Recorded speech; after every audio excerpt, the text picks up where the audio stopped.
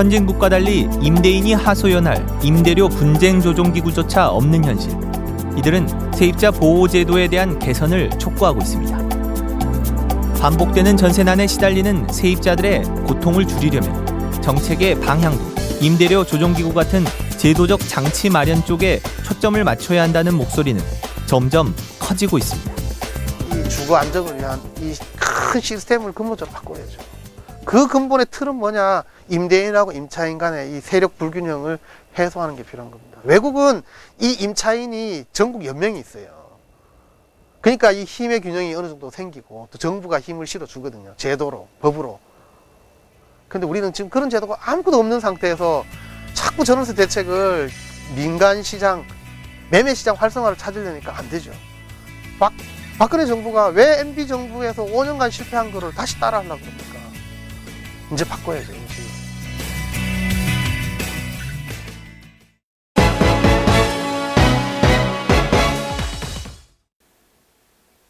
지난 12일 제주 인구가 60만 명을 돌파했습니다.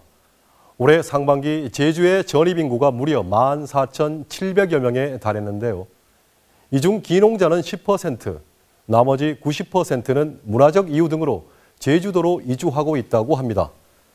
특히 젊은 층을 중심으로 문화예술계 사람들이 늘어나고 있는데 이를 가리켜 제주 문화 이민이라고 부릅니다. 이들은 왜 서울을 떠나는 것일까요? 그리고 어떻게 살아가고 있을까요? 제주 문화 이민자들 그들의 목소리와 삶을 담았습니다.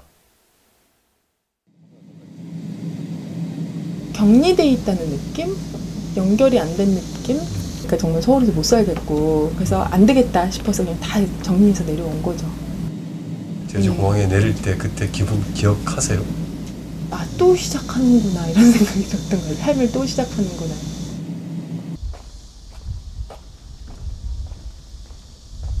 여기는 언제 오신 거예요?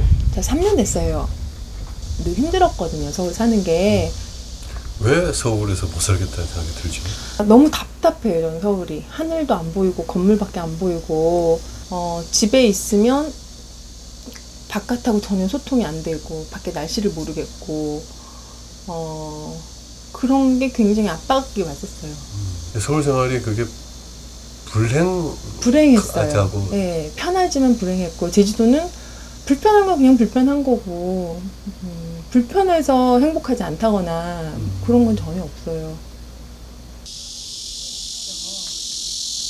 집에 계시면 주로 어떤 생각 드세요? 혼자 가만히 계시면 정말 소리가 많다. 이런 생각이 들어요. 벌레 소리 뭐 이런 거 소리, 거미 발자국 소리 뭐 이런 거. 자다가 저 거미 발자국 소리 때문에 깨요. 이렇게 종이니까 이런 탁탁탁 걸어가는 소리들이 있어요. 그런 소리들이 많아요.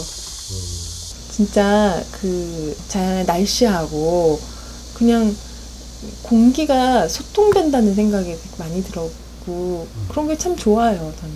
비 오면 빗소리, 비 오면 빗소리 들리고 주- 올해 42살인 정은혜 씨. 그녀는 17살 때 캐나다로 이민을 간 뒤 미국 등지에서 미술을 전공했습니다.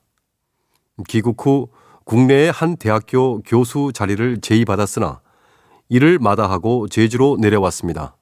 그때 좀 고민되지 않았습니까? 아, 굉장히 고민됐어요. 저한테는 이런 기회가 없을 수 있겠다라 싶었고 그러니까 좀 아쉽다는 생각 안 드세요? 아쉽다는 생각은 안 들고 너무 잘했다는 생각이 들어요. 정은혜 씨의 직업은 미술 치료사. 이곳 제주에서 그녀의 수입은 서울에 비해서 반으로 줄었습니다. 손을 맡겨봐.